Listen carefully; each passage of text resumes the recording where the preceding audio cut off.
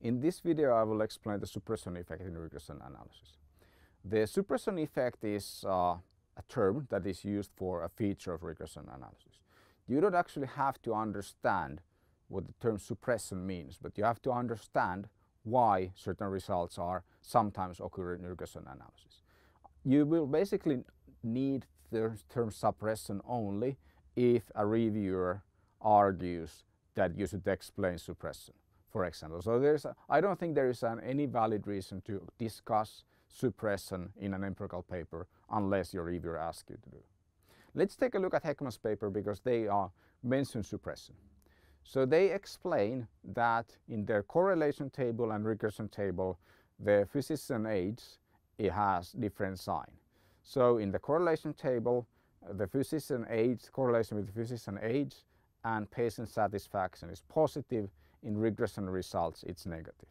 And that's the suppression effect. The technical definition is unimportant here. Then they explain that uh, these variables may somehow be suppressing the variance of the dependent variable that is irrelevant to its prediction. I don't, I don't understand what that means, so that doesn't really have any literal meaning.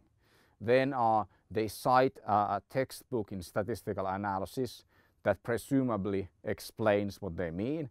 Unfortunately, that's a big book and they don't give a page number, so we can't really meaningfully check what that book says about suppression. So whenever you, you explain something and then you give a reader a book to read, then at least give the reader some indication which chapter or which page of that book explains the fact that you're referring to. Otherwise, this is uh, you're, you're uh, having your hundreds or thousands of readers to, to browse through this book and waste your time looking for a fact whose location you already know because you wouldn't be citing the book unless you have read it.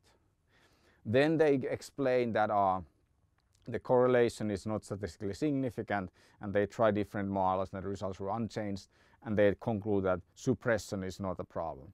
I agree with the explanation that the suppression is not a problem but not for the reasons that they explain.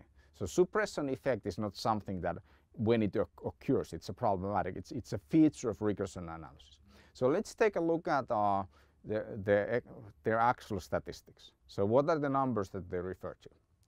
So they identified that the correlation between uh, physician age and uh, patient satisfaction is positive and the corresponding regression coefficient is negative. So why could that be the case? We have to remember that correlation and regression coefficient quantify different things.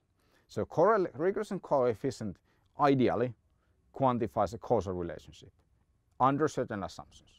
Correlation coefficient quantifies a linear association that could be causal or it could be spurious. It's very simple to see here why the physician age is correlated positively with satisfaction but why the regression coefficient is negative. We just need to look at the correlation table. So let's take a look at the correlation table. We first look at which, which variables are highly correlated with age. Well, it's the tenure. So tenure is correlated with age at, at very high level. Then we look at what's the correlate, the regression coefficient of tenure here. It's, it's very strong positive. So the more experience you have, the, the more satisfied your patients are.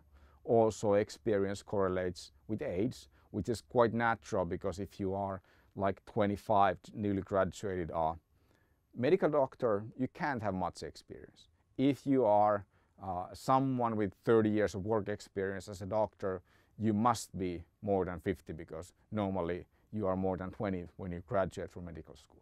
So age and tenure, age and work experience naturally correlate very highly. So what's going on? Remember that the linear model implies a correlation matrix. So what is the implied correlation between our age and patient satisfaction based on the correlation between tenure and the effects of tenure and age. So we go from age to, uh, to patient satisfaction. We take that path once, minus 13, and we, we take the correlation path, path 0.69 times 3.4 this correlation path. So that gives us some, some math. We get that the implied correlation based on this part of the model only is uh, 0.1, which is very close to the uh, 0.09, which is their positive correlation. So what, why is there a different sign? It's pretty straightforward and it's, uh, we have a natural explanation. When regression coefficients quantify the effect of one variable when other variables are held constant. So what the regression coefficient tells us that when you have two physicians that have equal amount of work experience, people tend to prefer the younger one. That is natural. But people also tend to prefer doctors with more experience and those doctors that are older tend to have more experience and the experience is the, is the uh, variable that matters more than the age.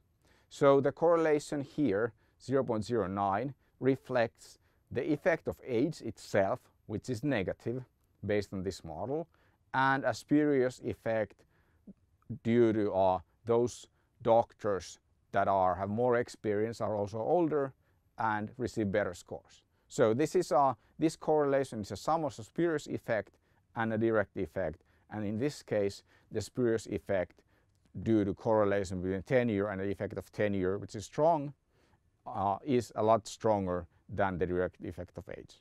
Therefore we get a positive correlation. So that's how regression analysis works. It try it gets a correlation and it tries to uh, identify how much of that correlation is spurious, how much of that correlation corresponds to a causal relationship. Sometimes the spurious part is a lot larger than uh, or than the actual causal effect part and that can cause the, the regression coefficient to have a different sign than the correlation coefficient. It is not a problem, it is how regression analysis works.